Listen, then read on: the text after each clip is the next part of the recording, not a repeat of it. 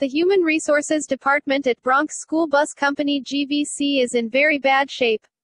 The person running the department is Marlene Augusto Baez. Marlene Augusto Baez has a serious drug problem. I now have possession of a video which shows Marlene using drugs.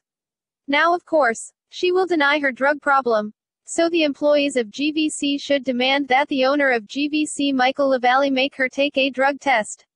So with that being said, Marlene should not be helping the owners in the contract negotiations. A drug addict should not be involved in the process that will shape the employee's livelihood. Marlene has no dignity or morals. All she does is lie lie lie. Marlene is simply Michael Lavallie puppet. Marlene has no respect for herself which would explain why she is married to a man that is in a notorious street biker gang. She is married to a man who has abused her. Only someone who has no respect for themselves would stay with a abusive gang member. Marlene's character is very questionable and she should not be the person helping to create a new contract.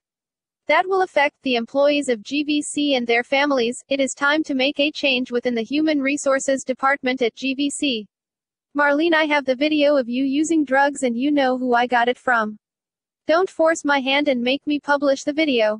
Stop lying and manipulating the employees of GVC. Stand up for yourself and tell Michael Lavallie no. I will not do your dirty work anymore, it is wrong. Have some respect for yourself. P.S. I also have possession of the X-rated photos that you sent to you know who.